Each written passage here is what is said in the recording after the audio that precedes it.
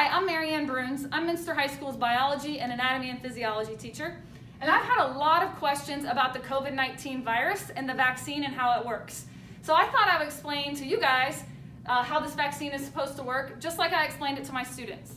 So up here I have the SARS-CoV-2 virus, a very detailed drawing. Um, this is also known as the COVID-19 virus.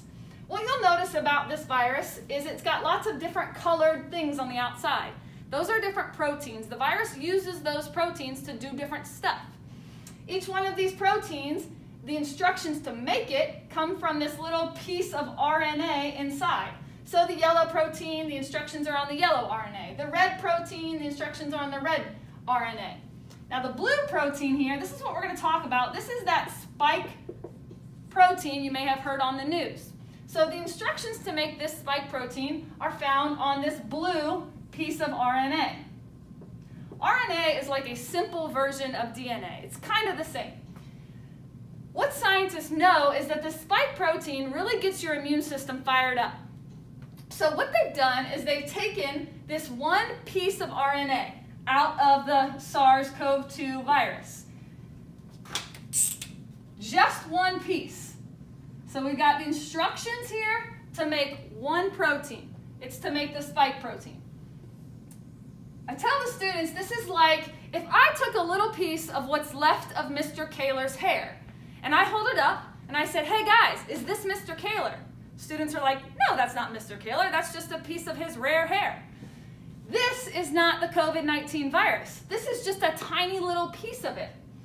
So what scientists have done is taken these spike protein instructions and put them in a lipid droplet because your cells are made of lipids.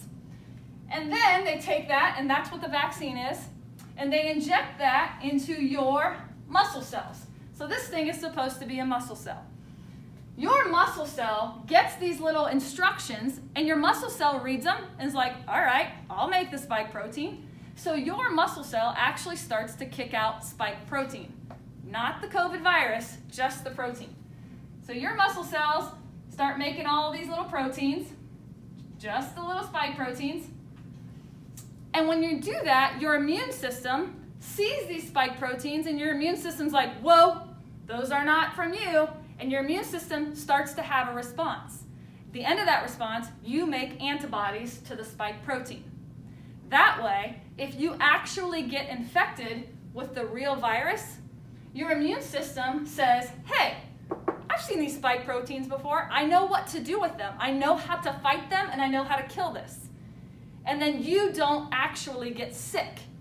That's how an immunization works. I tell the students it's kind of like if you're going to play another team in sports, and before you play them, you watch film of how that team plays. That way, when you actually get on the court with them, you know what they're going to do. So getting this immunization is kind of like watching the film of the COVID-19 virus. Your body knows what to do.